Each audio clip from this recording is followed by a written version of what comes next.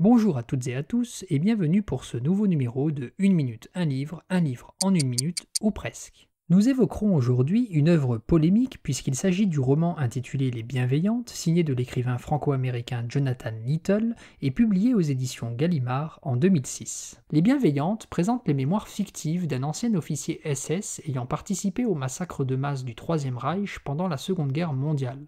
Le titre du livre fait lui-même référence à l'Orestie d'Échille et plonge le lecteur dans une réécriture contemporaine du mythe grec. Aussi dérangeant qu'immersif, le récit explore dans une mise en scène tragique les tréfonds de l'inconscient perturbé de son narrateur et interroge aussi bien les motivations individuelles que collectives d'une entreprise meurtrière sans précédent.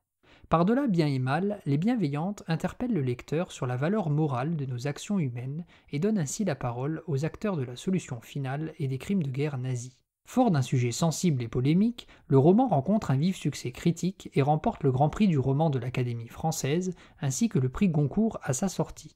De quoi bien raviver notre devoir de mémoire.